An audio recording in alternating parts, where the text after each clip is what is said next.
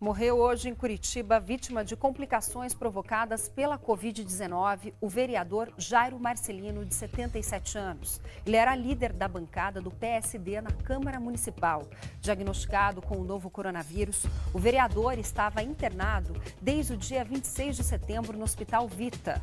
O boletim médico divulgado informou que nos últimos dias houve um agravamento no quadro clínico e que ele não apresentou sinais de melhoras, levando à falência múltipla dos órgãos. Jairo Marcelino era vereador em Curitiba desde 1982 e concorria à reeleição. Ele deixa esposa, seis filhos, 13 netos e dois bisnetos. O corpo será cremado amanhã cedo em Almirante Tamandaré. E como